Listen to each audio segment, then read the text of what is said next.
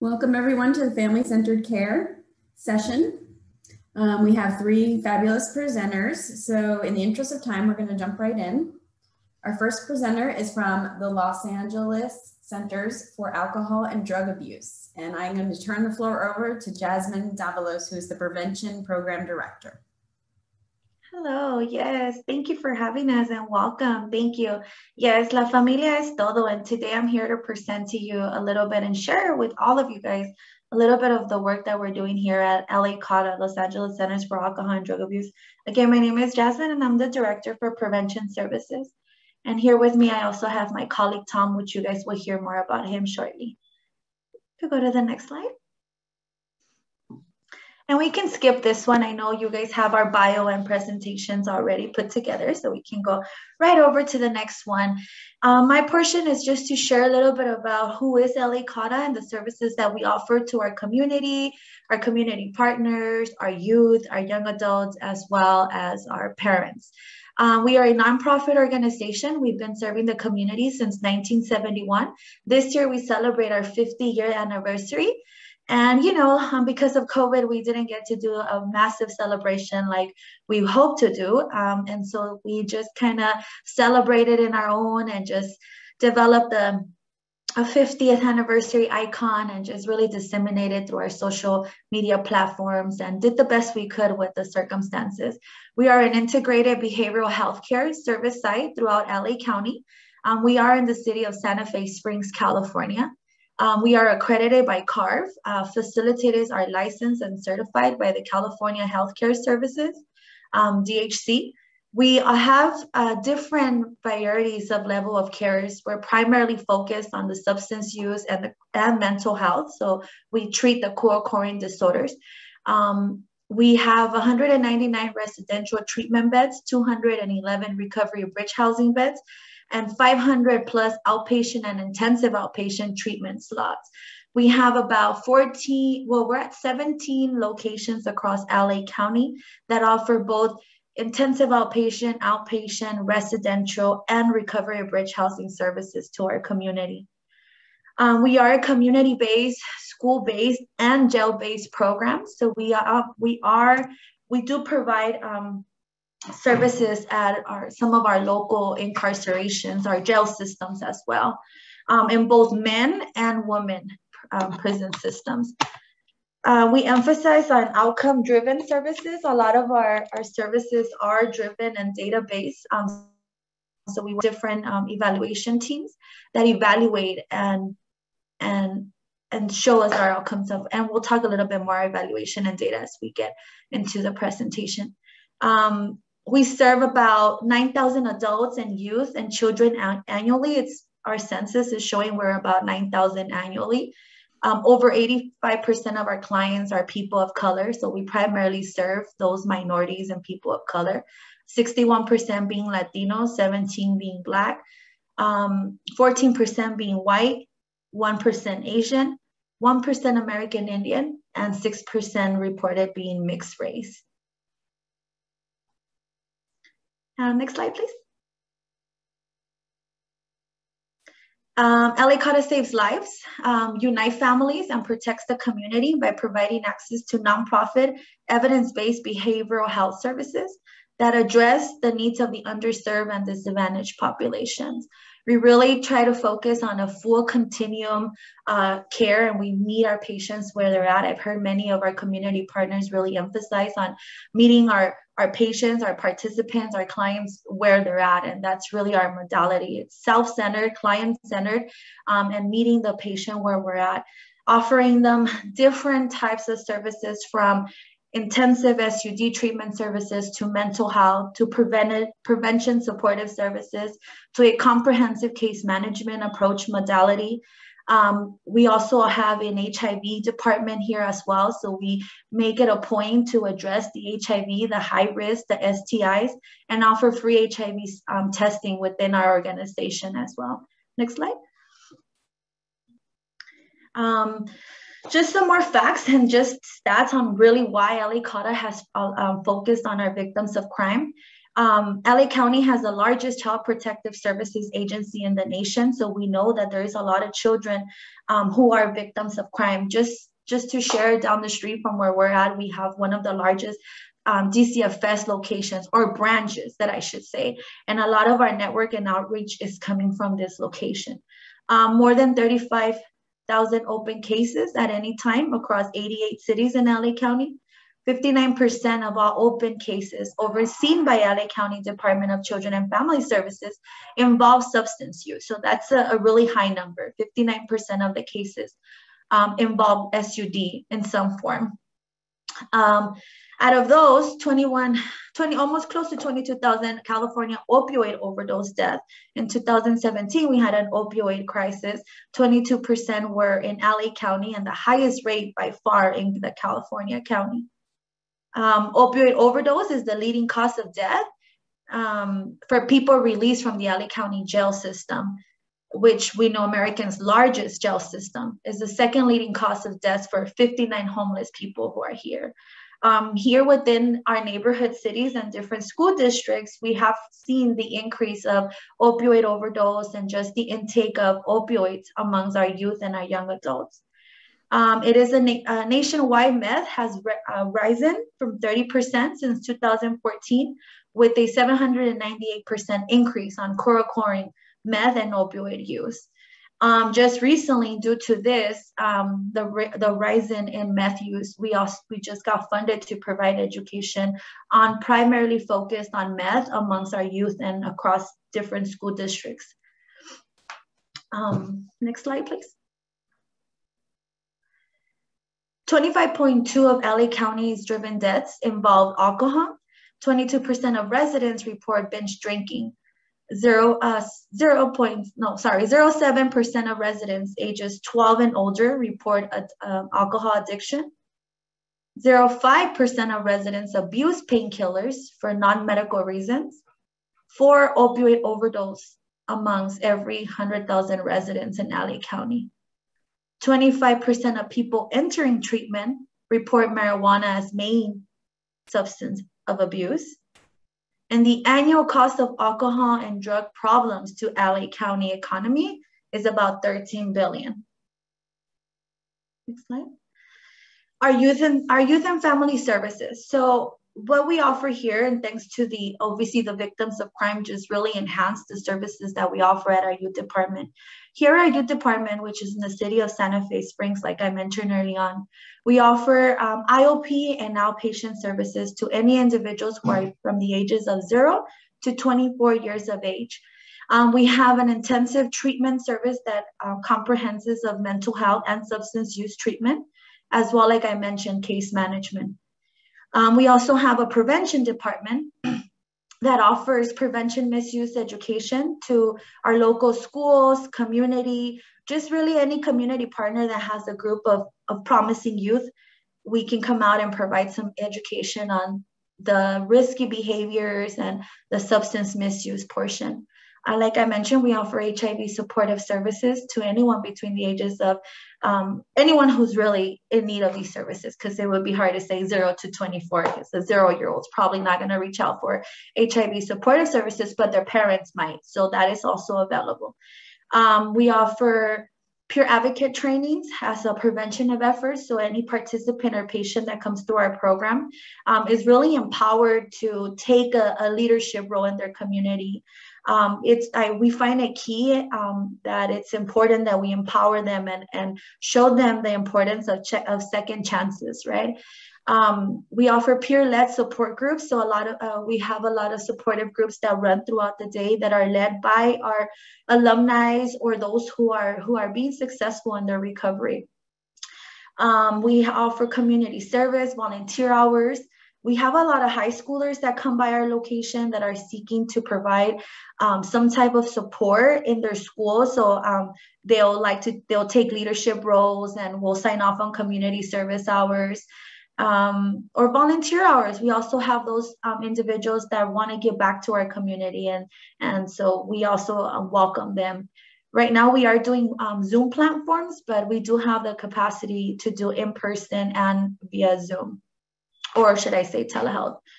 Um, we have a teen center, uh, which we call the homework club here at this location. Any participant who's enrolled in any of our services, even after the completion, so as an alumni, um, we have tutors that volunteer their time. I, there's a certain um, bracket you have to reserve your slot. There's a calendar.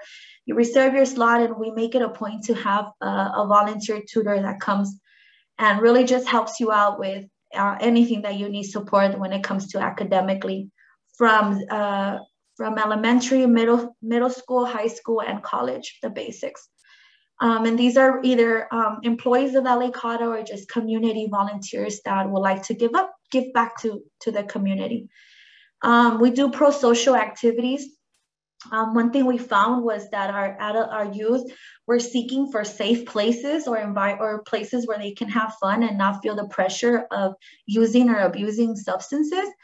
Um, and so as a as a team here, they decided to open on Saturday. So we open Saturday mornings from 9 to 12, and we do a, we host a pro-social activity. Um, we ask our leadership. So there is a leadership group that's run out of this department that is um, built out of youth between the ages of 0 to 24 so really just we have a, a different diversity of of age ranges and um, we reach out to them on what they want to see what is it some what activity would they like to to participate in. Um, we've surveyed a few of our young adults with this um, asking same information. What is it that you guys would like to see on saturdays? How can we support you with your recovery? What else can we do aside from treatment services? More of supportive services. What else can we do for you um, to ensure that you feel confident and secure in this whole process and so um, they voiced out, we have a, um, a few requests for just life skills in general um, workshops on things on how um, some of our youth were interested on just different topics like credit, right? Like why credit is important. Um, I remember when we did this survey, there was about 6% and we surveyed about 19 young adults and 6% of them were really interested on real estate and just making money. And there was one kid that comes to my mind and he said i want to learn how to make money the healthy way. So i was like what does that mean healthy way? Explain to me more. And so we went into that but every time i, I talk about that it reminds me of him the healthy way. So whatever that looked like for him um, we do referrals to MAT services. So we have um, a grant that's the Youth Opioid Response Program that allows us to provide MAT services to our young adults, I'm sorry, our, our youth as well. Uh, anyone between the ages, again, of 0 to 24. So our youth and our young adults. Um, next door to our location, we work with a pediatrician that really helps us and monitors the prescribed medication and, and the treatment for MAT services if you guys are, if you're not familiar with MAT, it's medication assisted treatment. It's primarily for those who suffer from opioid use disorder. Next slide. And so the prevention work, um, go ahead and go to the next slide, please. Thank you. Um, really working on bridging the gaps. Um, part of my duty, which is on this grant, particularly on our victims of crime, is the outreach component. Um, and really, as I was hearing as um, other presenters, there was something that stuck out to me. And um, all these established collaborations and memorandums or understandings really do take a lot of time and effort. Um, I've been in this profession uh, for over 14 years. And as I'm reflecting back and I look at um, everything and all the relationships we have established within the 14 years and now seeing them blossom, I really can say it took about 10 years to really um, plant the seed water the seed and see this this tree grow. And and because of that i i'm humble enough to say that building all these and establishing these mous have really been easy. Um, we they see the work that we do. They're seeing our outcomes. Like i mentioned all of our work is um, used by evidence-based curriculums. We have evaluation teams that evaluate our work um, we have multiple different grants from different fundings um, and you know how strict and and and how they are with meeting objectives and goals and and proactive so um, we have a high percentage of change behavior with the curriculum, the evidence-based curriculums that we use across the school districts and community partners. Um, we do a lot of outreach from attending clergy meetings to spa related meetings um, to community coalitions. There's a few community based coalitions that are run um, by a few uh, community partners in our areas that we like to attend and really just be there as support and and sharing and and making our services available to those individuals who are in need. The best thing of all this is that all of our services that come out of our youth department are free of service. Um, we do community resource fairs. So here in um, LA County, the restrictions have kind of, uh, the restrictions have kind of, what would I say, easing up a little bit. So we have seen more of in-person community resource events. And um, we participated in a few just in this month. As many of you know, it's Red Ribbon Week. We are across six different um, high school, middle school uh, around our, our location or our, our spot, providing education to high school students. And with that is information of the victims of crime program and this free uh, mental health and or substance use services that we have for them. Um, we've participated on other community events like Downey Pride, Whittier Pride, um, National Drug Take Back Day, um, youth conferences, um, Long Beach Pride, and other organization resource fairs. Anywhere where really we're asked and requested to be there, we, we make it a point to, to provide our support. Um, some of our established MOUs from the youth department are, like I mentioned, um, LA County of Education. We have a few memorandums of understandings with a few high schools, middle schools, elementaries. Um, with cities, we, um, you know, we know that cities tend to have their um, programs for those individuals who, um, you know, are caught in school or in the community with substance use. They, they're, they're referred to a community program. So we reached out to different cities. Um, two of our local cities, which is the city of Santa Fe Springs, they have a teen center. This teen center is really, it's really awesome. It's a, it's a teen center. You walk in there and they have, um, you know, just video games, um, computers, um, just a lot of uh, board games, pianos, uh, a lot of great stuff that teenagers, you know, can have fun with. Um, and it's open to any teen within that city. And so what they did is they invited us to come in and, and share with them the services that we have to offer, not only to the, the youth, but also their families um, and their caregivers.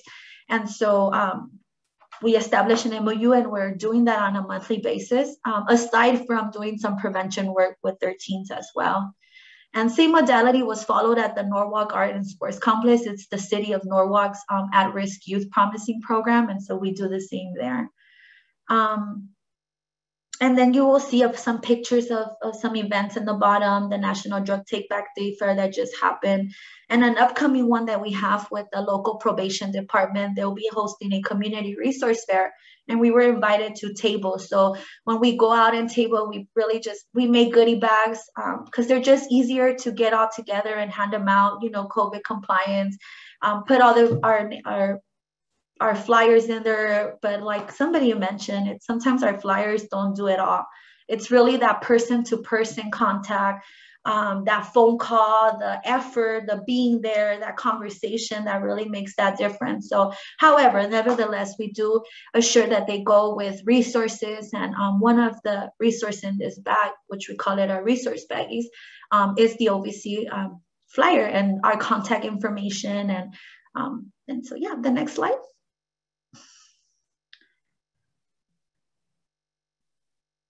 Now I'm going to pass it over to my colleague, which he will be talking to you a little bit more of the work we're doing with particularly our OVC contract and our treatment services.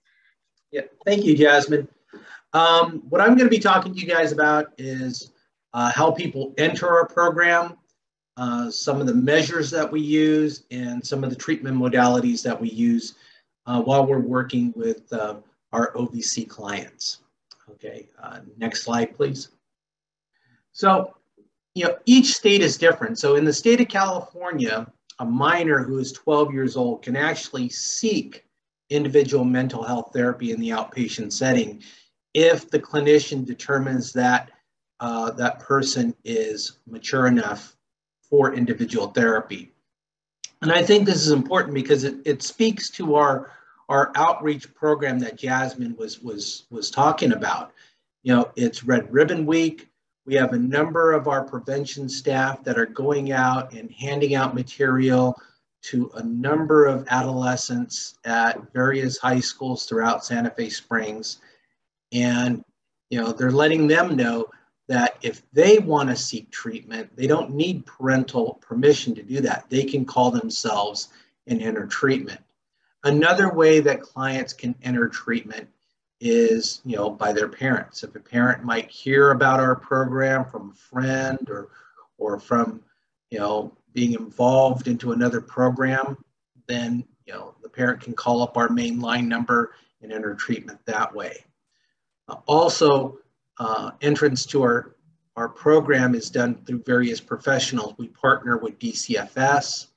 Um, LA CADA has a number of outpatient programs throughout the Los Angeles area. And any you know, client of ours, adult client who has a child is potentially eligible to enter you know, the OVC program. You know, clients are screened for eligibility, you know, be it either by the phone or in person. They come in, they complete our packet, which is a 17 page complete biopsychosocial. You know, it sounds kind of daunting, but, you know, it's actually pretty easy to navigate. And it also includes uh, things like release of information uh, and all the other legal paperwork that we have to go over. You know, next slide, please. So some of the measures that we use is, um, you know, is the UCLA PTSD index, reaction index. And that's our main measure that we use because you know, we are talking about trauma. And a number of our clients have, you know, identified a, a tremendous, you know, vast trauma history. Um, and so it's very important that on this measure, that clients can identify the types of trauma, their role in that trauma, some of the brief details about that trauma, and the age range in which they experience that trauma. Also in the reaction index is included a list of PTSD symptomologies. And so they rate those symptoms on a scale of one to four, four being the most extreme, one being not at all.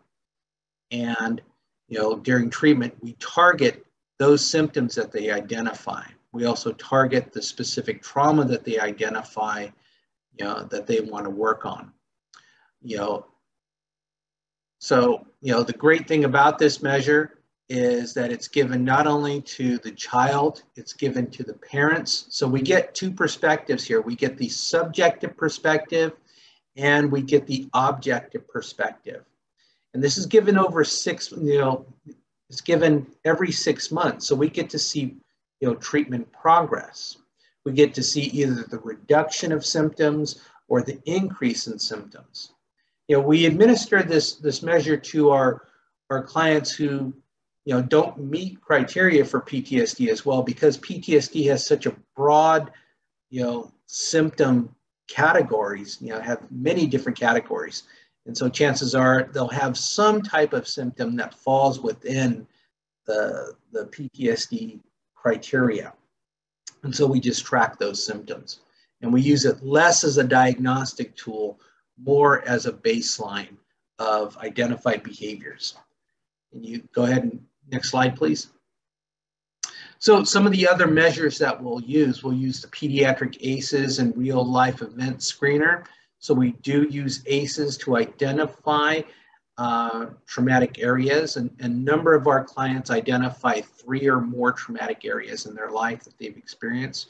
We use, you know, the IPCANs to identify strengths and needs within that family system. And then as needed, we will administer the anxiety and depression scale. If a child is manifesting anxiety or depression, we'll, again, we'll administer these scales to the child and to the parents to establish a baseline, and then we'll reassess at the six month mark. Yeah, next slide, please. So our primary um, form of treatment, our EBP, is TFCBT, Trauma Focused Cognitive Behavioral Therapy, because we are a trauma-informed um, treatment, treatment program. So for those who aren't familiar with TFCBT, TFCBT is a therapeutic intervention designed to help children, adolescents, and their parents overcome the impact of traumatic events. You know, for example, it is designed to help with traumas related to sexual abuse, physical abuse, domestic violence, and community violence, an unexpected death of a loved one, natural disasters, and war. So it focuses on you know, treatment to assist the child and adolescent in developing coping strategies for traumatic stress reaction and reduces symptoms of depression, anxiety, or acting out. And as you can see, there are certain phases of the TFCBT process. And throughout this whole process, we're incorporating not only you know, parental training, you know, training on parenting, but we're also incorporating conjoint therapy. So this way, uh, I can teach children relaxation skills. And then we can meet with the parents sometimes, you know, within the same session or in the next session and go over those skills. So that way the, the parent can reinforce the relaxation coping skills, you know, throughout the work week. You know, again, with affect modulation, we talk about, you know, mood identification, linking the mind and the body. How did these feelings affect your body?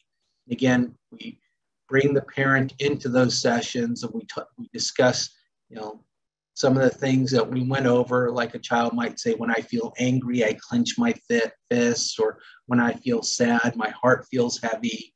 So, you know, we educate the parents to how the child is manifesting these feelings. And so that way, again, they can go over these, these feelings, you know, throughout the week as well. Um, we discuss cognitive coping styles.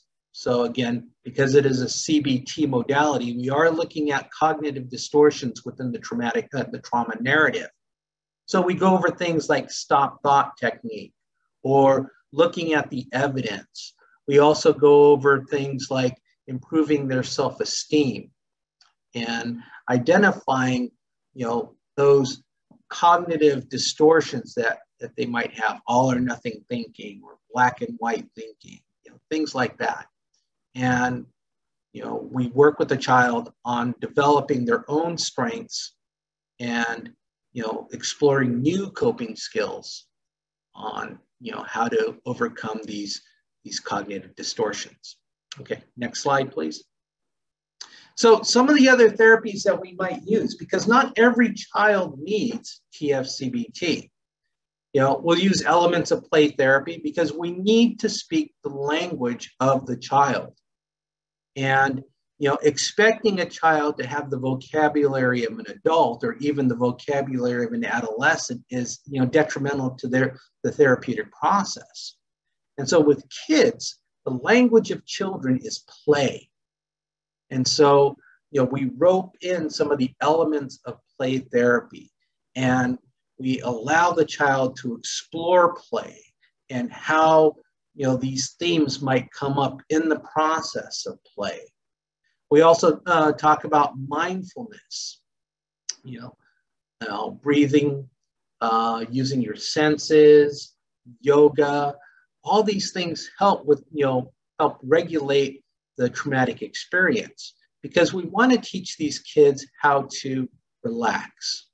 Want to teach them how to lower their cortisol levels in their brain so that way they can use the cognitive you know, you know interventions that we discussed earlier. Because you know thinking through a traumatic event doesn't necessarily work. You need to put out the fire before you can work on the problem. And if there's too much stress going on in their brain, if they're anxious, or if they're having other things like dissociation, they need mindfulness. They need to learn grounding skills. And some of those things we go over. We use games in therapy, not necessarily as, as a competition, but we use it as springboards for therapy. You know, one of my favorites is using operation. You know, as a child is is playing operation, I'm, I'm assessing their ability to follow rules. I'm assessing their ability to, to problem solve. I'm looking at their frustration tolerance. And as they pull out a piece, like they might pull out the broken part, now that becomes a springboard for a conversation. It's like, okay, you know, at, at one time in your life, did you feel sad? Or if they pull out the wishbone, it's like, okay, what are some, what are three wishes that you might have? So again, using things in a creative way. Know, I love using Uno. Uno is one of my favorite games, and I love it because it's so portable and I can take it wherever I need to go. And so what I'll do is I'll assign different values to the colors. So I might say, okay, uh, when I flip a red card, we're going to talk about a time when you were angry. When I flip a blue card, might you know talk about a time when you're sad. You know, when I flip a yellow card, we'll talk about a happy time and so on and so forth. So during the course of play, if I play like you know a red five, I might say, okay, tell me about five times that you felt angry. Or if I play a, a, a blue two, I might say, tell me about you know, a time you felt sad and where did you feel that sadness in your body? So again, taking something as simple as Uno and turning it into an intervention. I use I also use elements of geek therapy. And for those people who aren't familiar, geek therapy is using, you know, themes or items in pop culture as doorways to therapy. It's using things like video games. It's using things like anime. It's using things like Dungeons and Dragons or Star Wars or, or superheroes as ways to you know, navigate through therapy. And you know, along that mindset, one of the things that I created was an intervention based on the movie Inside Out by Pixar. So, you know, I watched this movie and I thought, you know, here is a fantastic opportunity to teach kids about emotions. I mean, Pixar did a wonderful job in this movie. So, why aren't there worksheets out there? Well, there are. And so I, I, I searched to search the internet and I didn't quite find what I was looking for. I wanted something that I could use in therapy in, say, a 15 minute se- uh, session and then use the rest of the session, rest of the time in the session, to discuss what we had just watched. And so what I did was I I chopped up, you know, inside out into six 15 minute segments, and each worksheet is designed to focus in on those 15 minutes. So the first 15 minutes, we're talking about stuff like emotion identification, Stuff like, what's the first emotion that appears, which is joy? And so, where did you feel? Share a time when you experienced that emotion. You know, what's the next emotion that that pops up? And you know, in the movie, that's sadness. So again, we'll talk about where do you feel sadness in your body. And so, what we've done is is not only do I use this in session, but this now becomes a tool that the parents can take home and they can watch this movie with their kids and have conversations. So now the adults are learning how to speak with their kids instead of talk at their kids. You know, they are exploring emotions with their child. They're exploring things like the importance of imagination and empathy. And then when we come back in the session in the following week, we can talk about some of the worksheet, you know, things that popped up in the worksheet. You know, and you know, this intervention is, you know, free. We can pass it out to you guys. If you guys are interested, you know, you can shoot us your email. You know, I'm sure Carlos or somebody else can link us up.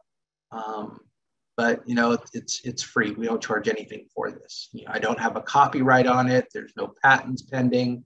You know, so you know, if you guys want it, you guys can have it. All right. Um, next slide, please. So, you know, one of the great things about the OVC is that this gives us an opportunity to target the right clients. You know, drug abuse is is, is a family disease. It's not just isolated to the father, it's not isolated to the mother, it's not isolated to the aunt, it's not even isolated to a certain community. And so, what we do is with this program, we have a chance to target the right client, which are kids, because the sooner that we can teach them how to manage their stress, how to deal with their trauma, the better off and more healthy they will be.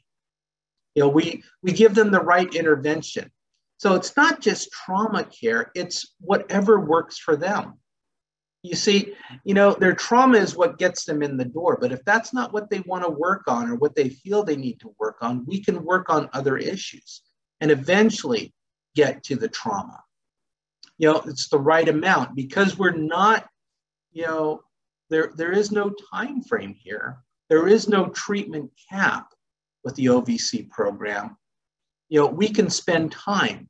We can spend time building a rapport, building a relationship, so if a, if a client needs 12 sessions, we can give them 12 sessions. If they need 24 sessions, we can give them 24 sessions. If we have a client that needs eight months worth of therapy, we can give them that. You know, you know, and it's at the right price. You know, it's free. You know, theoretically, our clients can receive three years worth of worth of therapy on a weekly basis you know, not only individual therapy, but case management for the entire family at no cost to the family, at no cost to the individual. Okay, next slide. So our services that we provide are in bilingual. We have brochure materials that are both in English and Spanish, you know, and, you know, we, we try to take a multicultural, you know, approach to you know, not only the OVC project, but all our projects here at LA CADA. Okay, next slide. So I want to thank you very much for having us. It's been a pleasure and it's been our honor to uh, present our program to you. And thank you guys for sharing yours. Thank you, Jasmine and Tom. Our next presenter is the Family and Children's Service. And I will turn the floor over to Julie Flannery, who is the Director of Child Welfare and Permanency Services.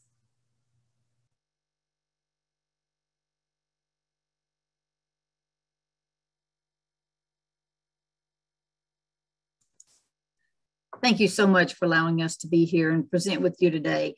Um, it's been great hearing from all the other grantees, and I hope that we have something to offer you as well.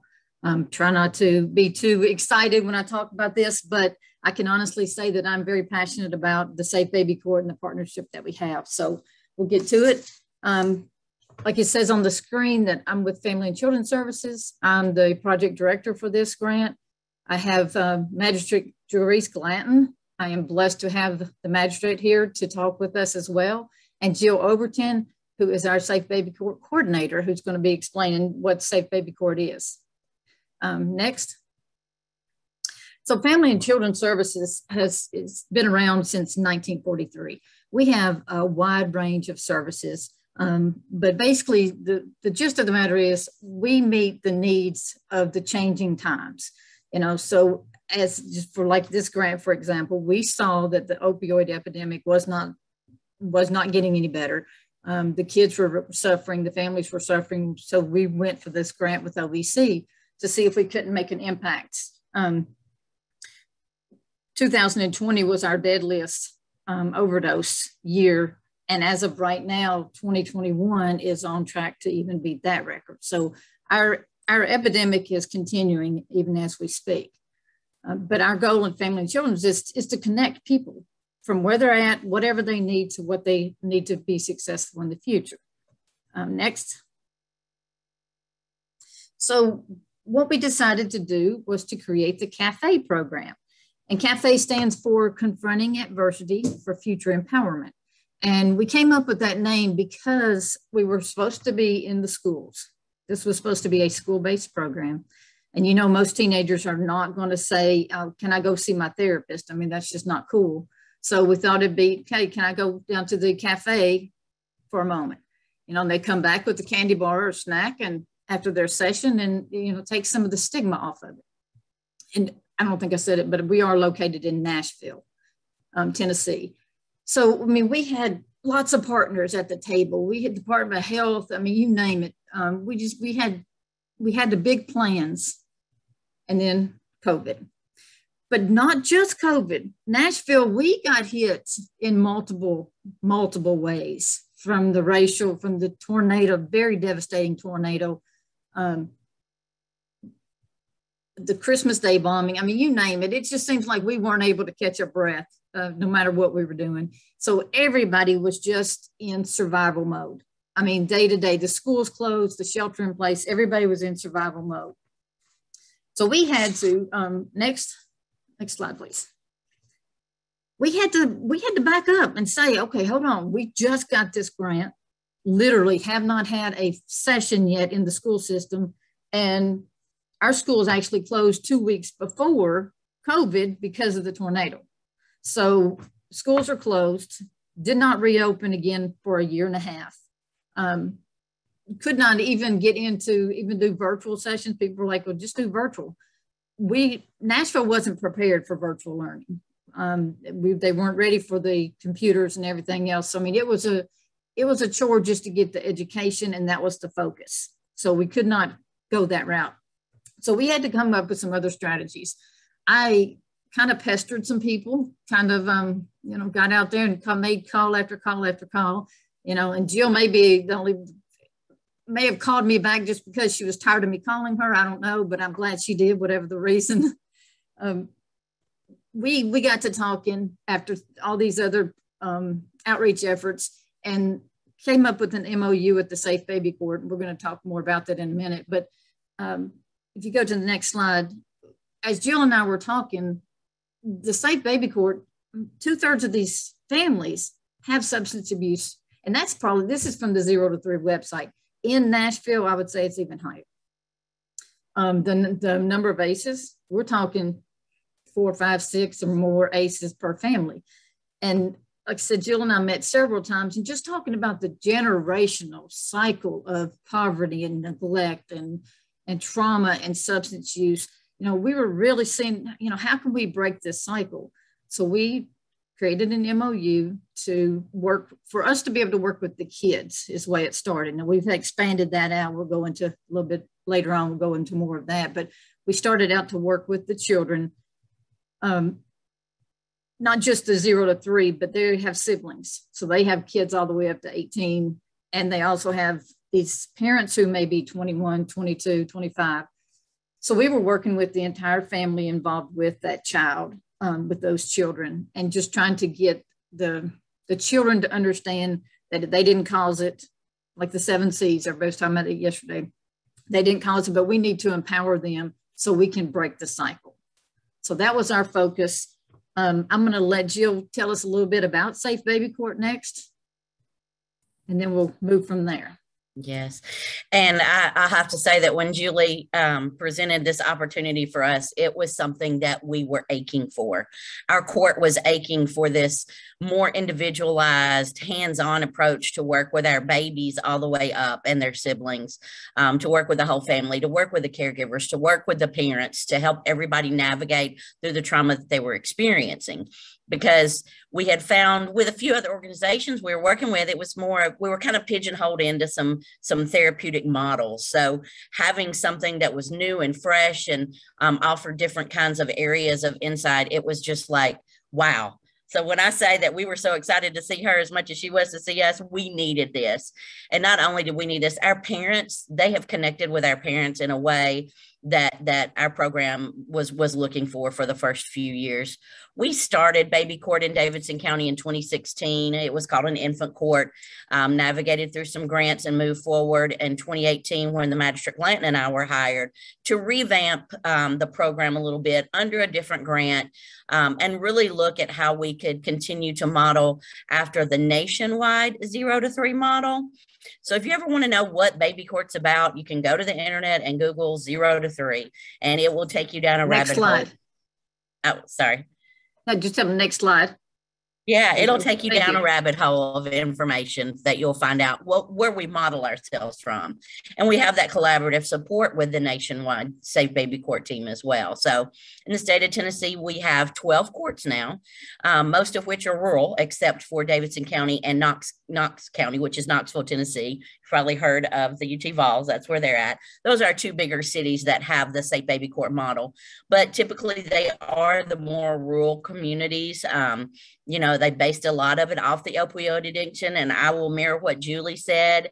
Our families, 90, I, I swear 95% of our cases are um, due to some kind of a uh, substance abuse issue, um, which doesn't take away from us being able to help with domestic violence cases or environmental hazards and those types of things that families may be experiencing. But it's just the the um, the beast that we're living in right now, the nature of the beast, I guess that you could say that we're living in right now but to kind of keep myself to the time limit that I need to, a family um, can enter baby court voluntarily. Um, we are able to bring them in under some um, previous uh, kind of um, house rules that we had previous to this, but um, we try to make it voluntary for them. Um, so if a child has a baby in between the ages of zero and three, that's the main in track. Um, and our grant also says that we have to have some kind of Department of Children's Service um, uh, kind of involvement as well, whether it be a petition being filed or some non custodial services that are in the home. That's part of our grant as well there has to be a risk that this child is going to go into custody with the department or a risk that the child could be removed from the family and placed with other families, but the department is servicing that family. So that's the buy-in. Um, those petitions come straight to us from the department and from day one, Julie's involved with those families. She jumps on and starts working with them immediately.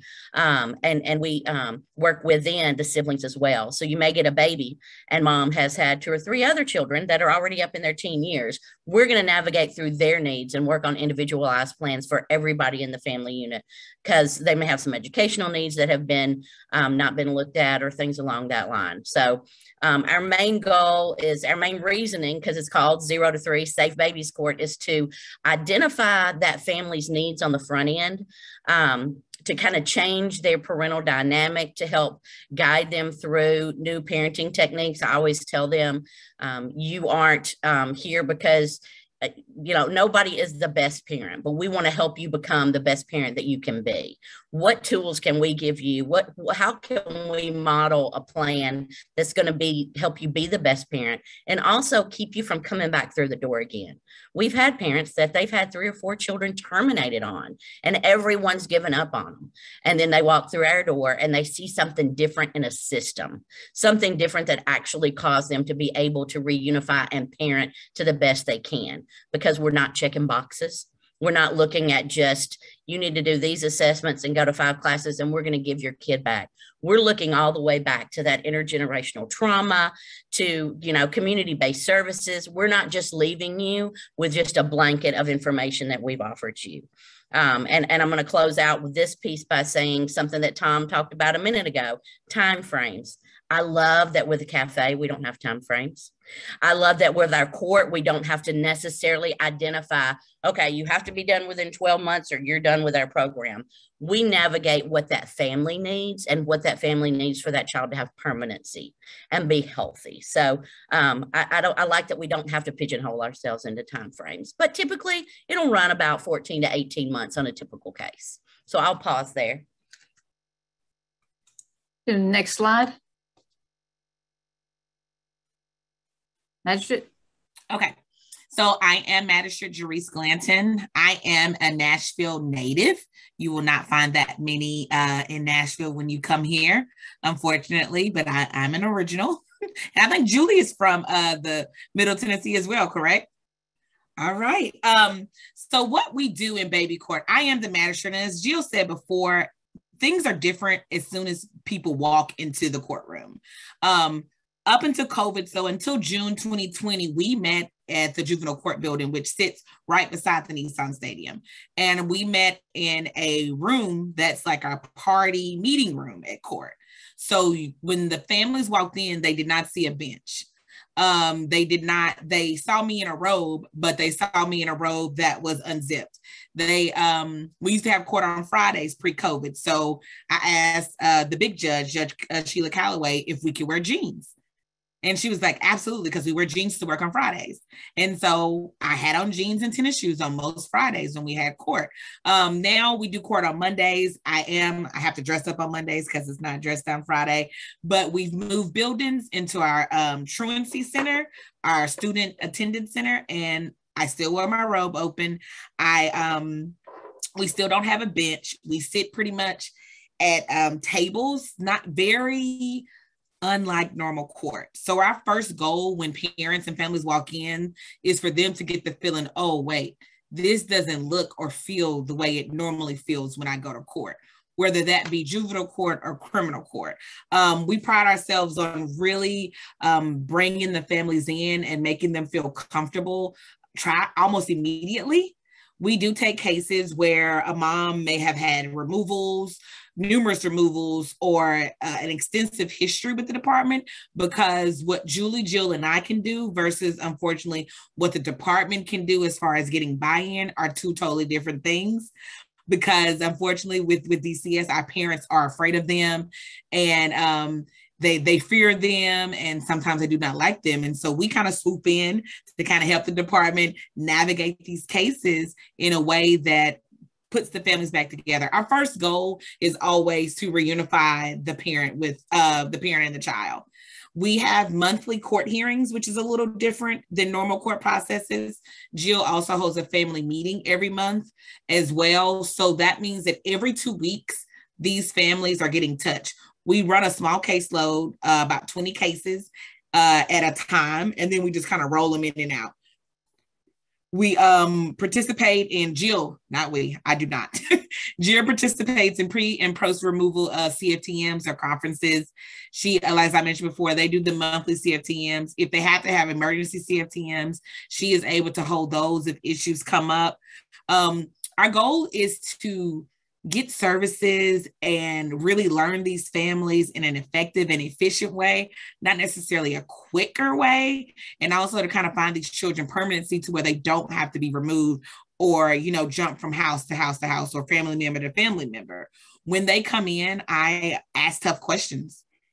I let their attorneys know, please warn your client that it's not something necessarily that I'm going to write down.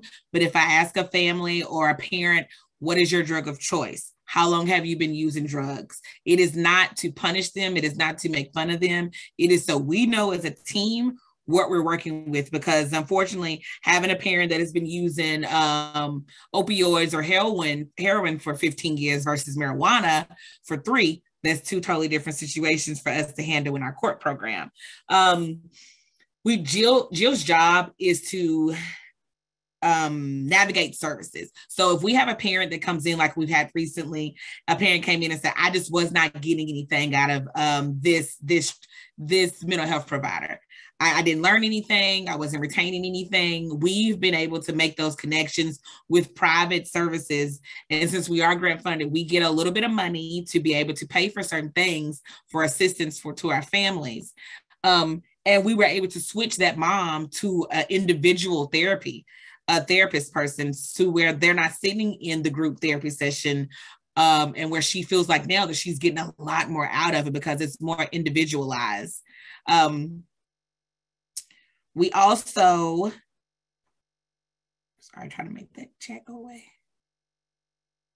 I've done things in, in making court more comfortable, we really go above and beyond. Pre COVID, we would serve food at every meal. That was also due to the fact that sometimes our parents would be actively in addiction, and this could be their only meal they get that day.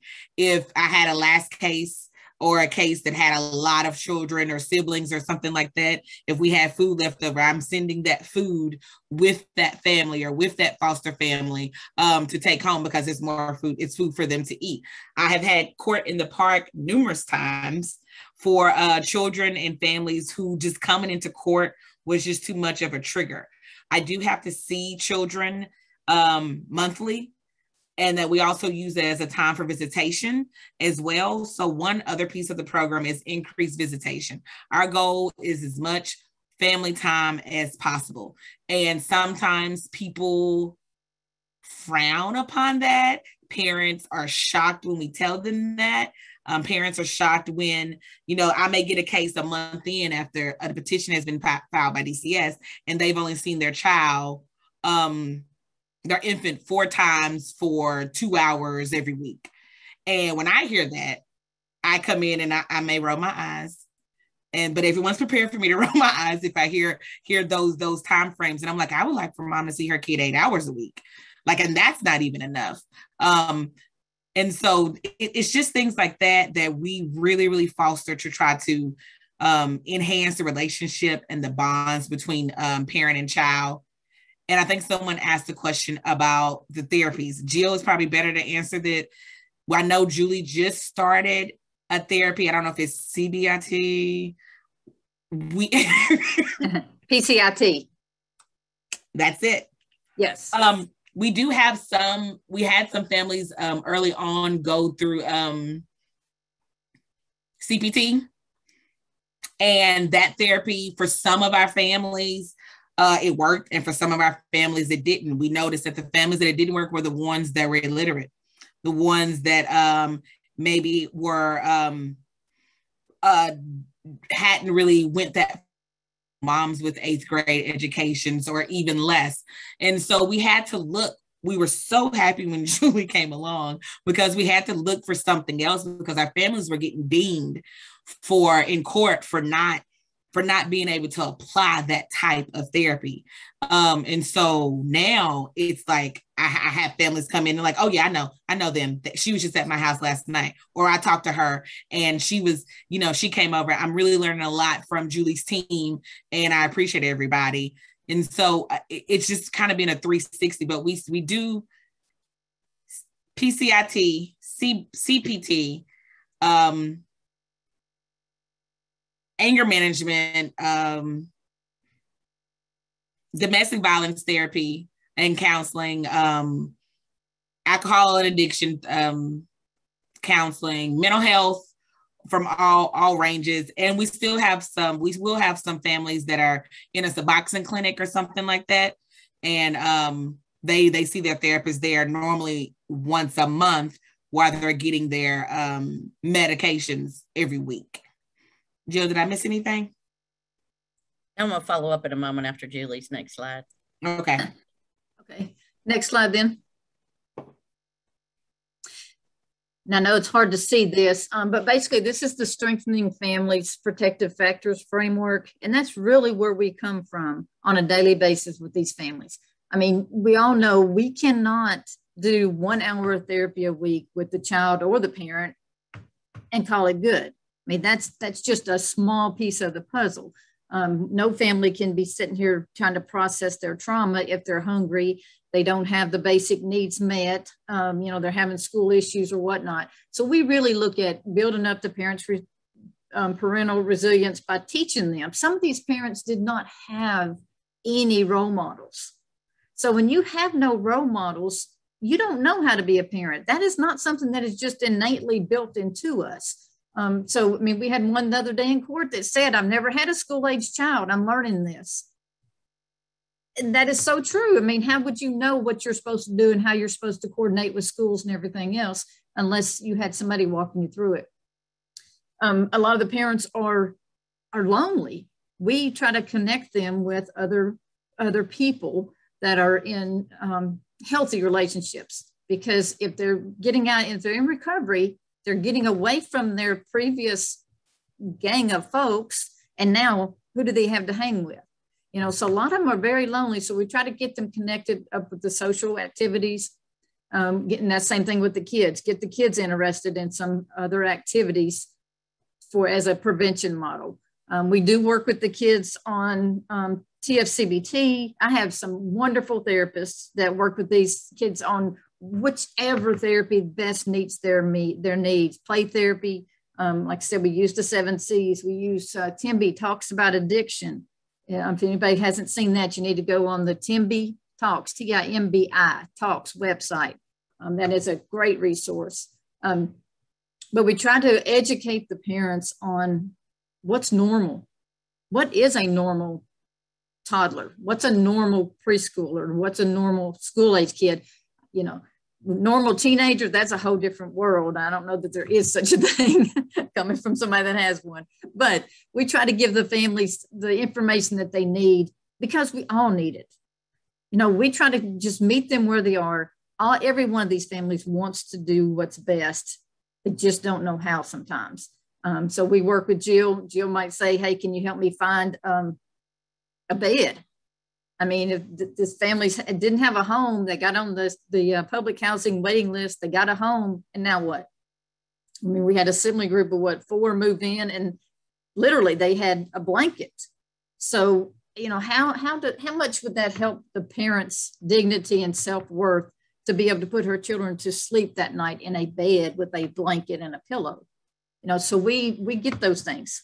We we use the community resources or whatever it takes um, so that we can put all of those pieces together. It's not a matter of this is a broken puzzle and we got to put them together. We have to go find some pieces sometimes and build that puzzle back for, for the families. Um, Jill, you want to add something there? Um, no, I think everything that you said is exactly how we feel our court should run, very mm-hmm. individualized. Mm-hmm. Um, you know, and, and in regards to some of the um, assessment tools that we use, I know somebody asked what a CFTM CFTM meeting is, and that's a child mm-hmm. and family team meeting, um, which gives us the opportunity to navigate what's working, what's not working, what's missing. Um, like I said, how mm-hmm. can we help you be the best parent you can be? Um, and and yeah. And one of the things that that magistrate does, I mean, she will look at the person straight in the eye and say, "What do you need?" Mm-hmm. how many judges do you know will ask the person standing in front of them, what do they need? You know, the parent might say, I need size four diapers. And she'll say, no. I ask, what do you need first? We got to take care of you before you can take care of the four year old or whatever. Um, and you just don't see that, but that makes a huge difference. The parents immediately feel like, hey, we're in this together. They're with me. We're lucky yeah having access to someone that's not going to judge them um, myself nor the magistrate judge these parents at all. We're not taking your visits away if you're dirty. We're going to make sure you're not high at the meet at the visit but you're not going to lose your your progress. Yeah. you know we're just going to revamp and and head in a different direction that we need to. Oh you didn't use heroin this week? You only smoke weed? Yay! Woo! I mean we're screaming yeah. at the top of our lungs in court to make sure that they're receiving some praises that they've never like people look at me sometimes, they're like, you're a real human being. And it's like, we're all human. There's yeah. nothing that made you different except you're in a different situation than I am today. And, and and that and that's how we work with the families. They do trust us at times, most of the time. I'm gonna try to answer some of these questions. I don't know where we are on time or next slides or things like that. So when it comes to family time as quality, I do not like for people to visit in public pretty much unless it is a park with an age appropriate kid. I will blow a gasket if I find out the kids went to McDonald's to play on the play play thing or Chuck E. Cheese unless it's a birthday party. So we do have a visitation space, um, which is at one of our local centers, which is in front of my high school actually.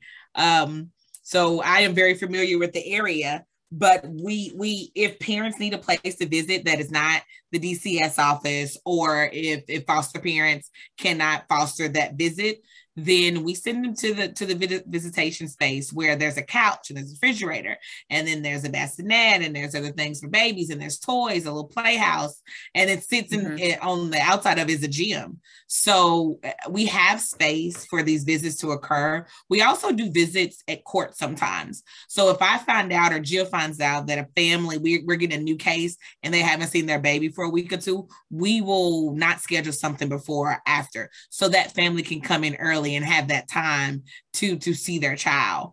Um, yeah. Some of the challenges. Think, go ahead. I think they're well. I think they're going to do some of the questions at the end. Okay. Well, I, no, no, that's fine. Um, go ahead to the next slide at the moment, please. Go ahead, Jill. Oh yeah, sorry. So um, it, it it from some of the successes that we have, it seems that our families do reach permanency a little bit quicker, and I think um, that's because we do identify the true needs of that family, um, and I do we do identify those protective factors and those strengths, and rely on figuring out what their ACEs are, um, what is their past trauma. Um, and I have attached the um, website that'll give you some of our data across the state of Tennessee. That's all 12 counties. If you just want to look over some of the, the, the areas of race, the areas of addiction, mental mm-hmm. health. Um, I know there was a question about some mental health and those types of areas, um, but that'll give you some kind of idea about um, data that we look at. But even in the year 2020, um, we increased the amount of cases in children that we were able to service. Um, we look at um, different areas of even biases within the providers that we use. We run across racial bias or um, different types. There are many types of bias, but we run across those and are able to identify that that resource might not be the best fit. And we're able to figure that out and give the family a trusting place to figure that out. Um, mm-hmm. I've recently been, and some of our families, our, our other coordinators have been through the FAN training, which is um, facilitating um, attuned interaction in our meetings. So we're not just, um, I, I don't know how many of you guys have been in Department of Children's Services meetings where it's, here's what you did, here's what you need to do, what have you done? That's not how we run our meetings. It's more about let's talk about what's going on in your life. Do a little bit of meditation, a little mindfulness at the beginning, and it feels like a familial group. It's not about pointing fingers. It's about getting to the crux of what's what's needed and where we're at. We have um, toddler infant needs assessment tools that we use. Um, Family Children Services has a ton of their own assessments that they kind of bring to us to make sure that that we're hitting all of the factors that we need to within our families. But um, like I said, we last year we served we run about 20 cases in a given year, like at a time, not throughout the year, and we served about 25 um, cases, about 53 um, individuals, children during that time frame. So um, yeah, like she said, everybody gets a voice. Um, it's not mm-hmm. just the people from the department that are coming in and saying, um, "This is what you did wrong." That that's not kind of how we run things. Next slide. And I think the the other thing that I want to add with what Jill was just saying is, and I think um, Tom might have been who said it earlier, the ripple effect. That's really the reason why I'm so excited about this partnership that we have because it's it we're yes we're helping the kids we're helping the the families that the kids are placed with but then there's also aunts and uncles and cousins and other people that come that are part of this family that we're touching the foster parents the schools the other communities. I mean this it's it ripple the ripple effect is going out. So hopefully we can make the difference for that not just generational but the intergenerational um, progress along the way we just want to thank you guys for listening and hope we've uh, provided something for you today. Thank you so much, Julie and, and Jill and Magistrate Glanton. Um, our next presenter is the Child Protector Mercer County, and I'm going to go ahead and turn it over to Ladina to kick off the presentation. Hi, everybody. How's everyone? Um, I, am Ladina Morgan. Um, we are with um, Child Protective Mercer County. That's the Child Advocacy Center. And we are a branch of that, which we are called Starting Points. Um, so, what we did when we were working at Child Protect in 2018, we had pretty much established the CAC. Um, so, we decided to meet with our local community partners um, to just kind of do an assessment of what we may need in relation to like the opioid crisis that was going on. Um, when we met with them, uh, we met with CPS, law enforcement, prosecutor's office, guardian ad litems, and other community partners that we work with daily. Um, and they said that they felt that the, in Mercer County, we really needed a supervised visitation program. At that time, we had two providers that were doing that kind of work, um, but there was actually no set place to do the visits. They were going to uh, McDonald's playgrounds, uh, play play sets to do the visits, or our mall, which has a little small play area um, to do those visits. So we decided that at that time we would go ahead and try to start opening up uh, a visitation center. Um, I think that there was 700 visits um, court ordered to happen each month in 2018, and less than 5% of those were actually at a designated location. Um, 75% of those cases were also drug related. Next slide.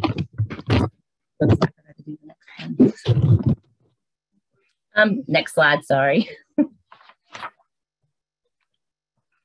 so um, the first thing we did was try to find a location for our visitation center because we knew that we wanted to mirror it with the CAC and have that be in a home-like setting where we can actually simulate how the visits would go when they were actually reunified or if they were reunified with their families um, to be able to continue those practices that we were hoping to help them with. Um, so we found a building that was actually right up the street from our Child Advocacy Center. Um, it took a while for us to get that building. Uh, we finally did. Um, so,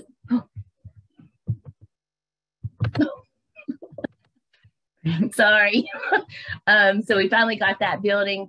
Um, we actually did all the work ourselves. We tore out carpet, we painted. Um, what else did we do? We got new flooring. New flooring. Oh, we had to have it all um, rewired electrically, and luckily our um, Votech pro- program did that for free for us.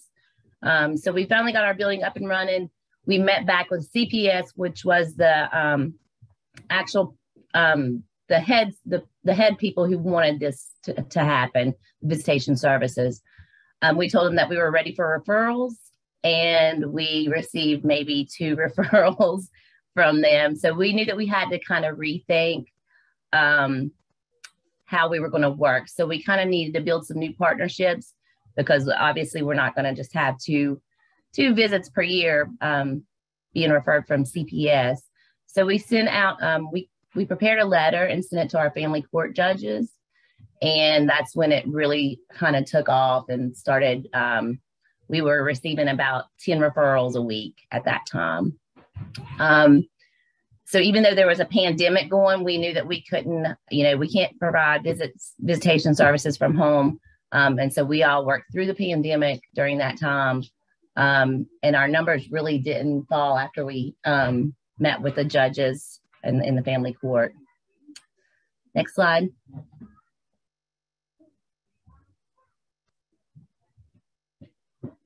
So this is just the outcomes of our first year of doing visitation here at the Starting Point Center.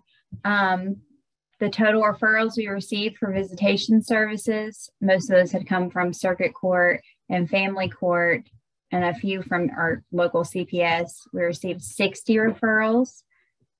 When we receive these referrals, we have the visiting party and the residential parent come in and fill out paperwork. So the numbers for substance abuse and the domestic violence were gathered from um, that paperwork. It's self reported as well as the court orders we received. So, cases with reported substance abuse was 75% of our cases. The cases with reported domestic violence was 73%. Um, during this time frame, we were able to schedule 664 visits. Um, throughout the year, we had a total of 44 cases that were closed. The reasons for closing 26 of those closed because of reunification. And then we had cases that needed home providers. They were granted weekend visitation. So that was three. And then we had a few clients who just failed to continue to come to visits. So that we had 10 of those closed because of that. We actually had one visiting parent pass away and we had four families move out of state. Next slide. So at our facility, we also have emergency um, resources. We have on-site food. We have a blessing box outside if, for after hours if we're not here. We have clothing, basic needs. We also receive donations of like household items. We've received washer and dryers um, furniture and different things to give out. We also offer different support groups. We have one going on right now at the local high school. We've had parent support groups as well, where we help, where we teach them parenting skills. Um, and then at our sister office down the hill, we offer free therapy services. So if we are working with a family for visitation and we feel like they can benefit from those therapy services, we can make a referral down the hill to them as well. And then throughout the year, we have different events that we work with the community to put on. We have our baby shower event that happens for expecting mothers every April. We also have a backpack drive to give out backpacks and school supplies to the local kids in our community. And I'm blanking. Um, we do blessing. we do a blessing box. Um, so it's Thanksgiving items in a box for Thanksgiving food. And then each year during Christmas, we also do some sort of Christmas activity. Last year we did shop with a cop, and we plan to do that this year as well. Next slide. so next year, um, and for our future growth of our program, um, we're going to try to grow our supervised exchange um, services. We really hadn't planned on doing supervised exchanges, but when um, the judge the judges called us and asked if we would be willing to try, we we went ahead and accepted that. Um, and so we that's something that they are expressing to us that they would like us to to to provide more of. So we're going to try to do those and just um, expand that. Um, we're going to also start having free therapy here at our office for um, our non-custodial caregivers, and that will start in 2022. Um, we have one thing that we did realize when we first started visits was that this office, um, while at first it seemed like it was going to be big enough, with the amount of referrals that we were receiving, became very very small. So we knew we were going to have to either find a new space or add on. And because this space is so homey, again, it's on a residential street. Um, you know, parents can come in, they can cook for their kids when they want to, um, bake cakes, they can do their laundry while they're wait while they're conducting their visit. Um, all these things we really didn't want to have to look for another home that was going to um, be able to provide all those services like like this place had. So we're going to have an 1,800 square foot office expansion. Um, they've actually started working on it. Um, it's pretty much up. And of that, 100% of the $200,000 space expansion was raised by all of our local donors and gifts from the community. So, um, one thing that we really are, I am very thankful for is that we have such great community partners and they have really just like embraced us and um, supported us throughout this whole process. And um, I'm really proud of all the girls that we have working here. And it's just been kind of a wild ride. Uh, next slide. So this first video is actually one of our clients that we had who received supervised visitation at our center as well as emergency um, referrals here for household items. And her case actually closed because of reunification. So we did an interview with her. If you could play the first video. Okay, and Tiffany, how uh, were you referred here to starting points? Um, family court. Okay, what were you referred for? For uh, visitation with my son, Evan. Um, I was going through the court system because um, my in-laws had temporary guardianship and I wanted to get the regain custody with my son. So we started out visits here at Starting Point once a week. And that's how our process started. They referred us to Starting Point to do supervised visitation. Okay, and can you tell me the reason um, behind why they had custody of him? Like, what was the reason? Was it? Well, I have been in trouble with um, addiction and substance abuse, and I um, was doing good. I had been clean for about probably six months, and so I went and I I figured it was better to go through the court system because we had a lot of bad blood was in the family during the time. Things weren't very well, and I wanted to do things the right way as well. So I went to family court and I got the modification packet and started the process. When we went to court, um, I had, you know, I had all the proof and stuff that I needed uh, about my recovery. And so they granted me visits once a week, supervised, and referred me to starting point. Okay, can you tell us a little bit about how your visits went here? Well, they were great. Um, I was very thankful for the visits here. Like everybody was so welcoming. We were comfortable. We played games. We cooked. We just sat and talked. We done outside activities, and it was it gave us the time to be able to bond.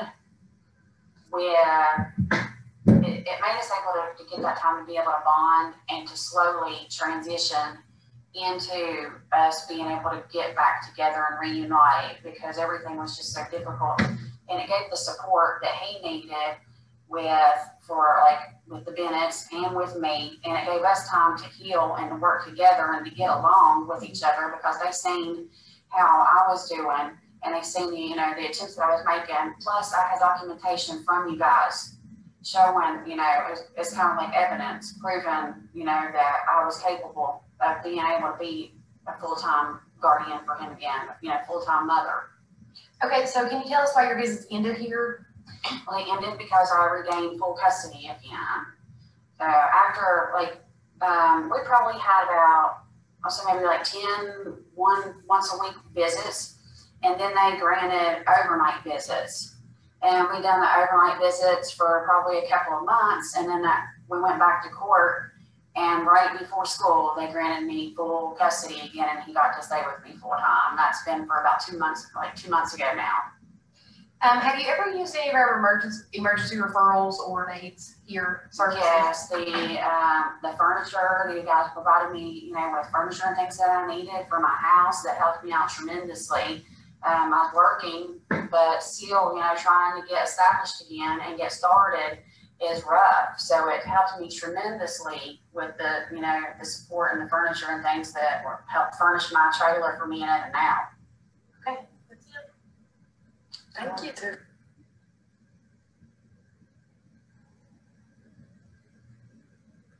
Our next video is actually our local family court judge that we received referrals from.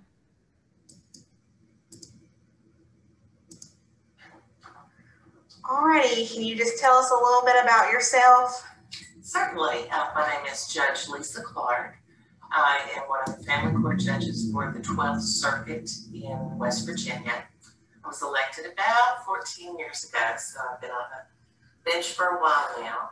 And we handle uh, cases regarding children, divorce, custody, child support, alimony, equitable distribution, contempt, those sorts of issues, as well as domestic violence cases. Okay, and then can you tell us about um, in what manner you work with starting points? Starting Points has been such an asset to our community. Before the Starting Points program, we had no supervised visitation program in our county or in McDowell County, which is the neighboring county. Uh, this makes it extremely difficult when you're trying to assess cases regarding custody and shared parenting time. So what Starting Points has been able to do in hundreds of cases so far, and I do mean hundreds, is they've been able to ascertain the relationship between the parents or guardians and the children.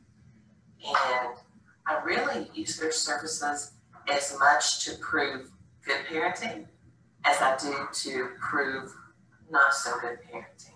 Um, I find the uh, workers at Starting Points to be very professional, extremely educated um, in this area. They're able to take such detailed information and translate it into a very cogent report for my staff and I to, to review on a weekly basis. Uh, very thorough. They're really an asset to the court system and the children of this county. Okay, can you tell us what kind of client you would refer to starting points? We refer um, litigants who are unable to co-parent. Um, a lot of times there are larger issues than the actual parenting skills at work. There are interpersonal relationship issues, and of course, let's face it, if they didn't have any issues, they'd still be together. Um, but this service allows us to really get an understanding of the relationship between the parent and child and to determine if there's any uh, trepidation, any fear with the children, if the parent can uh, appropriately interact with the children, if they're using the right words. Um, and I frequently over the years have looked to professionals such as the people at Starting Points for the right words in dealing with uh, children. So they've really been um, super successful in cases regarding domestic violence, even I'm going to call it facilitating supervised visits as much as it's a supervision, it's a facilitation because they can point out to parents that perhaps that's not the most productive way to talk about the other parent with this child. They can make suggestions. So in that way, I feel that they're more facilitators than actual supervisors, even though that is that is the role. Okay, are there any other issues that these parents face other than like issues between each other? Um, are there other issues that they have like going on in their lives typically? There are a lot of different issues. What we're finding, especially it seems since the pandemic hit, uh, a bevy of mental health issues that I didn't really notice in the past or they weren't really so prevalent. But uh, they're able to key in to different mental health issues that the parents may be having. And then perhaps we can refer the parent out for additional mental health services uh, if need be.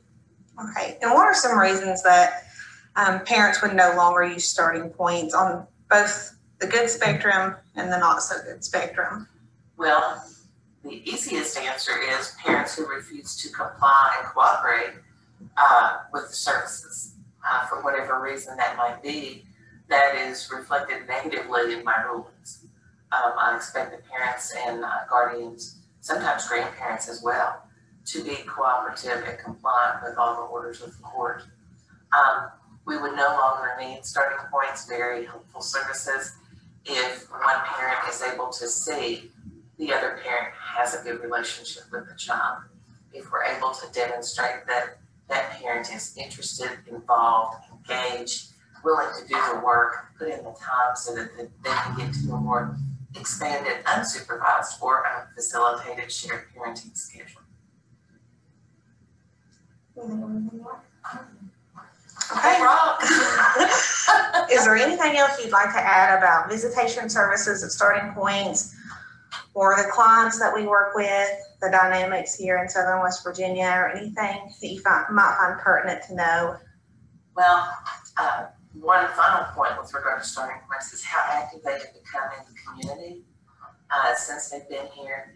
Um, as a member of the Rotary Club of Princeton, we've participated with them in some very successful backpack projects uh, for school children. I believe this year was somewhere in the neighborhood of between seven and eight hundred backpacks that were distributed. I know they've also done a community baby shower, which was wildly popular. And um, of course, they're a, uh, a branch of Child Protect, which just celebrated its, I believe, 20th year uh, in Mercer County. So we're very fortunate to have this program for our children and families. All righty, thank you so much.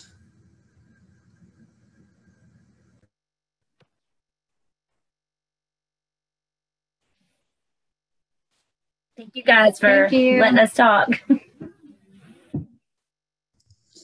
Thank you. Um, we're going to open up the floor for questions at this time. And just a reminder, if we do not get to all the questions, we will um, go ahead and develop a FAQ and um, share the answers out with everyone who's in attendance. So the first question is for Lakata. Can you talk about how you engage parents in doing the TFCBT therapy with their children? Do you ever have to do TFCBT with other caregivers in addition to the parents? Uh, sure. Um, the way we do it uh, with TFCBT is it all starts with psychoeducation. And it, and it all starts with talking and educating the parents and the kids about what trauma is and how trauma affects the brain. So right from the get-go, we are incorporating the parents and the caregivers in the care of the child. Then, you know, throughout the course of the treatment, what we also do is we roll in the parents as as we work with kids on developing coping skills, as we, you know, as say uh, during the relaxation phase, I, I work with children on how to breathe, how to do diaphragmatic breathing, and relaxation breathing. Uh, so we'll practice that in our session. And then, you know, we'll bring in the parent if the parent's available. And, you know, we'll teach the parent, say, okay, this is what we practice. Let's, let's breathe together. And so we'll spend a minute or two just breathing. And, and then I'll turn it back to the parent. I'll turn my focus back on the parent. I'll say, this is a skill that your son or daughter has identified that helps them when they're angry or helps them when they're crying or helps them stay calm. And what I'd like you to do is practice this. You know, I encourage you to practice it right before they go to school. You know, take five minutes before they go to school and just breathe, or right before bedtime, or both. You know, so that way you're reinforcing that training. The other thing that we do in TFCBT with parents is, you know, we have separate parenting sessions where we just talk about their parenting style. Because what we want to do is we want to help decrease home stress. Because you got to remember, trauma is all about, you know, elevated cortisol levels in the brain. And so if, you know, a kid who's you know any child but particularly a child that's been experienced exposed to trauma is a, in a home where the standard communication style is yelling across the room. Now you're talking about a kid that's exposed to complex trauma on a daily basis. So maybe we need to change the family's communication style you know? Or you know maybe my client was traumatized by someone wearing red. And the mother insists, and the mother doesn't know this. And so the mother insists on putting a red blanket on the child every night. Well, every night that mom is inadvertently triggering that child. And so, you know, I get a chance to educate them about the, the child's triggers. The other thing that I could do with parents is talk about their own trauma experience. Because you know, chances are if if a child is traumatized, then the then the parent might be traumatized as well. And depending on the type of trauma, they might have been traumatized by the same event. So now, you know, I'm talking to the mom about regulating her trauma, and then, you know, talking to the kid about regulating their trauma. So, and lastly, in in TFCBT, one of the final stages is the child sharing their narrative with an identified adult. So, you know, at this stage, you only have to, you only want one specified adult. So you're not putting too much pressure on the kid. Everything else, the whole family can be involved. So, you know, I'm sorry if I'm answering too long, but you know, that that's basically it. You know, you, you, know, you roll the family in at whatever stage you can. Mm-hmm. Um, this question is for the Safe Baby Court team. Can you speak to challenges when working with parents and families where there are multiple issues such as co-occurring substance use, domestic violence, and major mental health issues? Do you have any advice for supporting these families with complex issues that overlap like this? First, I'm gonna let you go first. Okay.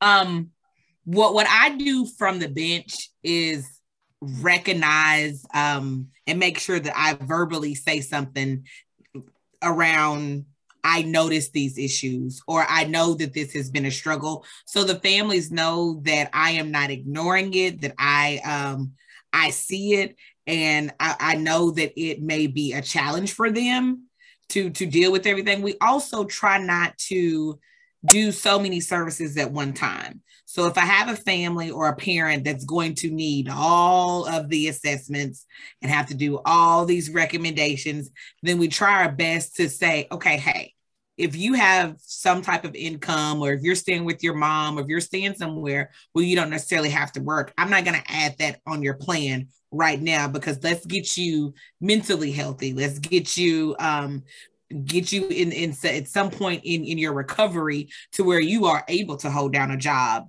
or, or something like that. But let's not do that right now and try not to focus on that. And we're gonna we're to provide whatever we can provide, like, you know, bus passes. And, you know, we have grant money to kind of get cars fixed and help you get your licenses back. So we try to do all that type of stuff up front to kind of circumvent all these other issues or all these other um, assessments or programs that you're going to be doing at the same time while you're also trying to work to get your children back. Um, Julie. Well, and I think from from a therapy standpoint, I mean, we try to have just brutally honest conversations with the parents about the best interest of the child. I mean, you know, it's it's different if they're you know been in the safe baby court for a week as opposed to a year. You know, these families that have been in here for a year, the the child has been growing up basically in the foster home. We do have that honest conversation. You know, I understand you want your son back, but what are what's your next step? And try to make these make the the goals that they can reach um, that are attainable in a short amount of time and then see what the long term is. I think somebody did the hope worksheet yesterday. I mean really that's kind of what we do. We give them the hope but at some point in time you have to have that honest conversation to say we your son needs permanence.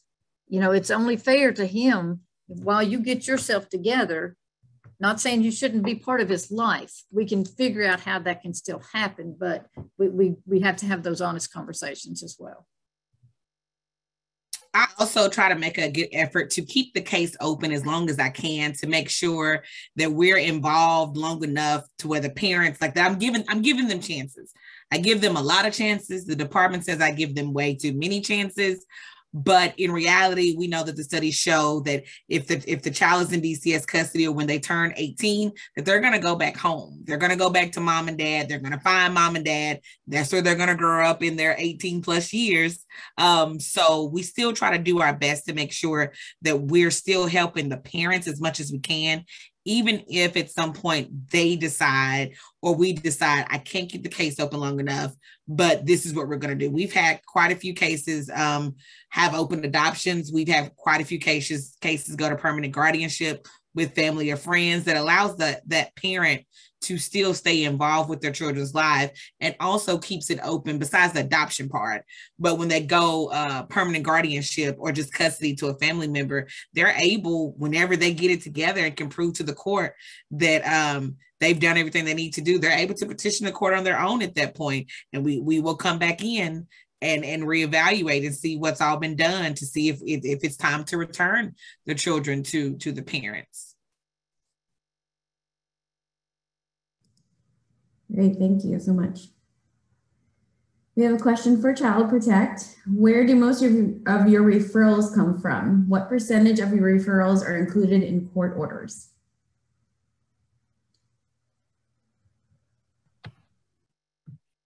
So most of our referrals for visitation come from our family court system here, from our family court judge, as well as the circuit court judges.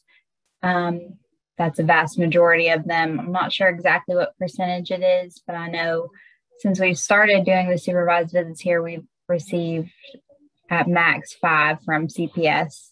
All the rest has come from the court system. And a couple of guardian ad litems.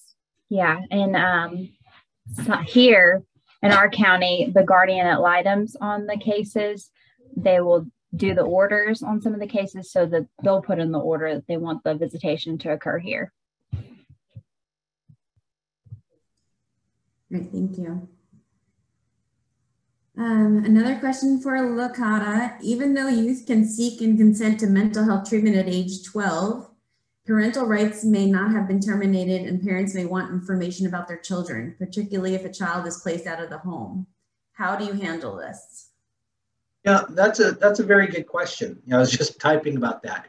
Um, you know, first off, I if a child is removed from the home, we we work directly with the DCFS, you know, social worker. You know, we want the family to be informed. We want, you know, everyone to know what's going on in a healthy way, uh, but we also want to do it legally. Generally, what what I work with, even when I'm working with parents who have custody with kids um, to ensure my child's, uh, my client's confidentiality. Um, first off, I get a release of information, you know, standard. Um, and then I usually just tell them generally what we're working on. You know, we're working on relaxation skills. We're working on, you know, stress in the home, you know, things like that. You know, yeah, not give them too many details. It's the same thing that when you're when you're writing sort of a, a summary of care, you know, you don't go into the details about the care. You, you talk about generally about the care. You know, child, you know, came to us because they were seeking some problems in the home. They're having some behavior issues, or there was some, you know, you know, they have problems regulating their moods. And so we're working on them on regulating their moods and their behaviors.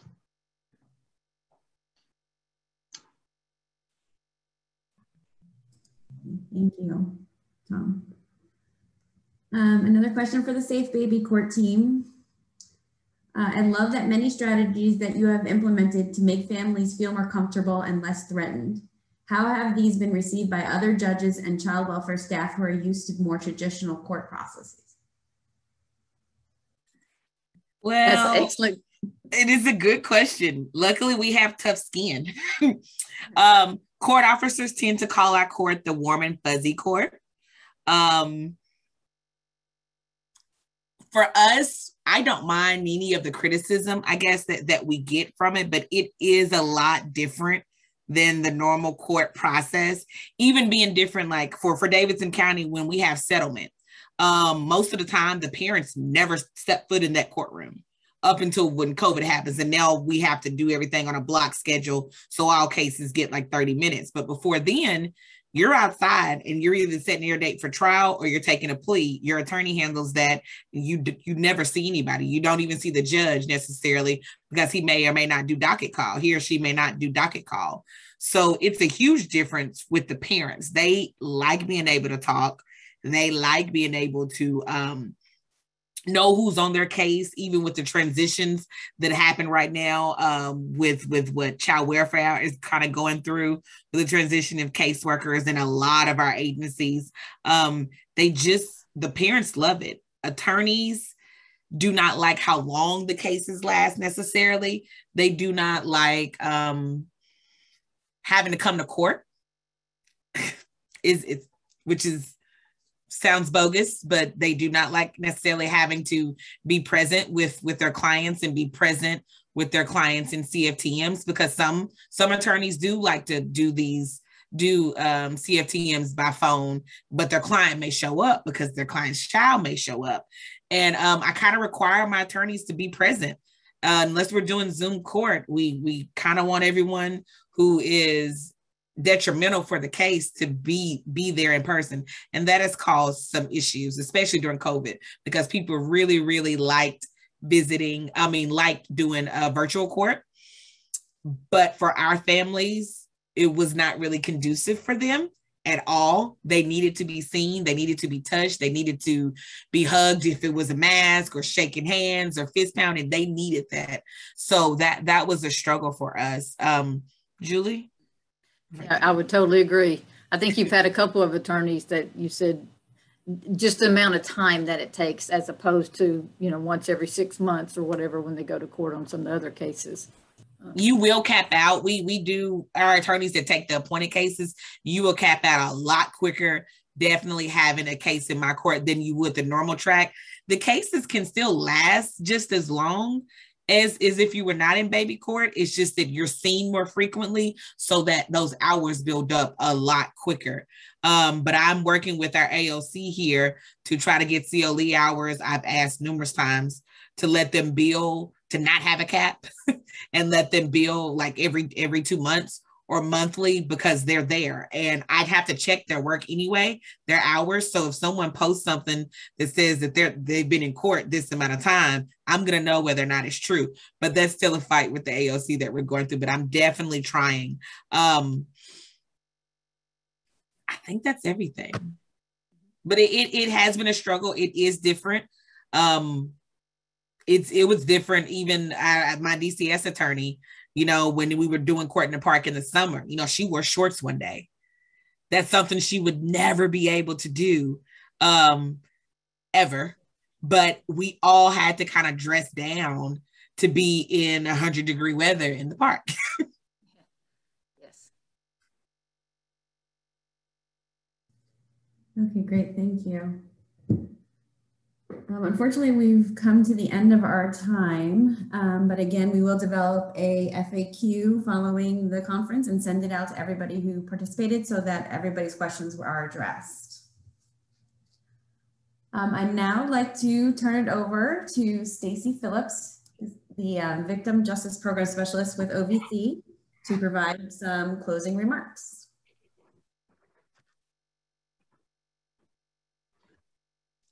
Hi, I don't know. Okay, back on. Wow, I don't even know where to start right now. I just want to say, Julian, and I think you said, uh, Jerice, you may be my spirit people. Um, I love everything that you just said. I've been, I'm just in awe right now, honestly. So, um, I, I was actually, I just have to say this. So I worked in DCF Bridgeport for 12 years, right out of college. And I remember people looking at me sideways because I dressed down all the time. And that was my way of building rapport with my clients. And so many people would be like suits and looking nice and this and that. And nothing, I didn't look nice, but you know, I was the girl in the jeans and, you know, I'm not here in a hierarchy. Let's like work together. Let's figure this out. So I, I think you guys are my spirit people. Um, so I'm so sad uh, to say that we've come to the end of this grant team meeting. I have loved every part of, of the last two days so much of what was presented um, resonated with me. I'm sure with you as well. Um, so if we were in person, I would ask everybody to start yelling out, like, what was your favorite thing that you learned? And so for just a minute, appease me. And I would love to hear from you. Put in the chat um, your favorite part, your favorite presentation, or something you learned over the last two days that you're going to take back with you.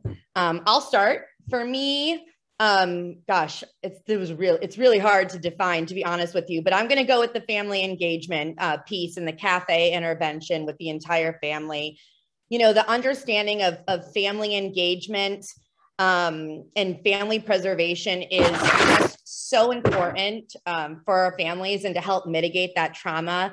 Building connection you know understanding those relationships. Like i said just a second ago i spent 12 years um, in direct service at DCF in Bridgeport, Connecticut, back in the late 90s, aging myself. Um, but no one, we didn't understand at that point what what family preservation was and why it was so important to, you know, keep that visitation going. If if somebody didn't see their kid for like two or three weeks, there was kind of this like, well, well, we just don't have time. And you know, I absolutely love the discussion about uh, CBT maybe not working for for families and the need for those non-traditional therapies because that's right. You cannot do CBT on a person with a dysregulated stress response system. It's literally just not possible. So when you see your clients not moving forward and changing the needle if you're doing CBT it's because they have a dysregulated stress response system and they're not able to, to talk because their Broca's region has been impacted by the trauma that they've been going through. So let me see some of the others that you guys have said. Oh my God, there's only like two of you responding. Somebody had to like take away something else. So, yes, the science and power of hope. Awesome. Mindful spirit. I want this book. Yeah, absolutely. The mindfulness camps, those were really cool. So, you know, I wish I could take credit for the design of this initiative because who knew that it would turn into something so transformational. But I do need to give a big shout out to my colleague and friend Bethany Case, who played a direct role in the design of this initiative back in 2018 and in its implementation for a couple of years. So she is the person who worked hard on the design, the ongoing collaboration with other federal agencies, and really voiced the importance of cross-sector collaboration and partnerships with the sites. You know, we both worked in child protection services for years with direct service, and we knew early on about the disconnect and the silos that continued to prohibit families from, you know, uh, from reaching the ability to get better. Um, but it is because of the work that all of you have continued to do um, in your communities that is really shifting the paradigm and the stigma of drug addiction. After the last two days, I can definitely say 100% that all of you truly understand what it is going to take to help a person heal and you truly comprehend that since the entire family is impacted especially the children that are impacted by this wicked problem that we have to work with the entire family and their surroundings in their community to help them feel safe and to help them get better so when i speak to my grantees and my and the ta providers i always tell them you know, I was you, I was a grantee, I get it. I know what it's like to be in the trenches, but you keep doing that work, you keep moving forward throughout all of the rigmarole of society, the politics, the the barriers and you continue to do the work because you know that the families and the communities need it. I tell them, I don't want you to think outside the box. I literally want you to throw the entire box away. And what we've learned is that families and substance dependent individuals um, needed back in the day, what they needed, what they were getting back in the day wasn't right. We are now in a place because of individuals and agencies like yourselves that keep on pressing and, and getting through the barriers and recognizing that to move the needle forward, we really do have to implement these new innovative ideas to transform lives and to change the system. And you guys are doing that. So after the two days, I know that all of you are doing this work each and every day. You've learned from the past. You have made necessary changes and interventions. You've become incredible, innovative ways to change lives. And we know that it's not easy. And we here at OVC we applaud all of you. We applaud all of you and your work. We appreciate all of you. We are grateful for all you have done and accomplished and for what your continued efforts to fight the good fight by continuing to break through those barriers. And we are so grateful for you. JBS International and staff, you put together and implemented an amazing grantee meeting, and you should all be so proud of yourselves for what you have put together and brought to just on this webinar, how many seven, 77 people, 100 people all over the country. Um, I guarantee you that people are going to be talking about the last two days for a very, very long time, especially the lessons learned. So from myself um, and those of us at OVC, a huge thank you. I hope that all of you um, take back at least one thing that you learn, take it back to your agency, share it with your agency, your knowledge, your leadership, maybe choose to implement something that you learned, add to your services, because that is how change starts. Um, I also hope that hearing all of the amazing work that has been done over the and continues to be done over the last two days has increased your levels of hope uh, because we know from the research of Dr. Chan Hellman that hope begets hope. So, on behalf of, I'm going to say JBS and OVC and all of our grant managers and myself, I wish you a great rest of your week and an amazing weekend, and then back to the grind on Monday. So, we won't say goodbye. We'll just say until next time, and hopefully, we will be in person when that happens. So, thank you.